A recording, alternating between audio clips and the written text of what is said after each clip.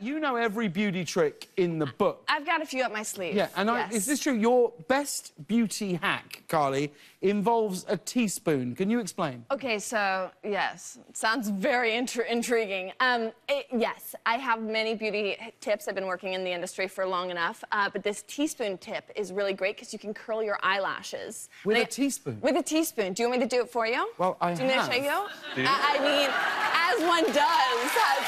a, a teaspoon. So that kind of perfect, go like, look, yes, perfect. I've got a knife, fork, teaspoon, I- just in case. You know, I need a snack. I always have Will you show? Will you that, yeah. demonstrate on me? What do you do? Okay, so you know you're Not that very glamorous. it. You're very I already glamorous. have incredible lashes. I you think you'll are realise. flawless, but you know anyone out there. Do I you- shut my eyes This is a very, very serious process. No, kind of look at my shoulder, Okay. and you kind of want to get it right at the the kind of lash line, and just pinch it just enough so that you're kind of giving that flawless, doe-eyed lash look.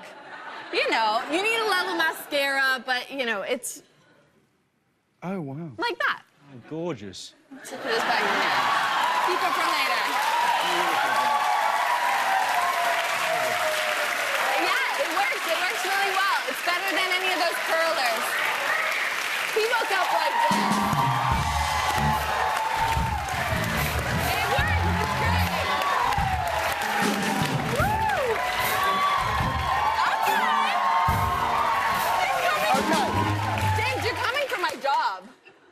I don't know what happened there. I mean, just, whoa. I just sort of became a totally different being. I Thank think you that's for your that. alter ego. It is. Yeah. Thank you for that. I will never forget it. Um,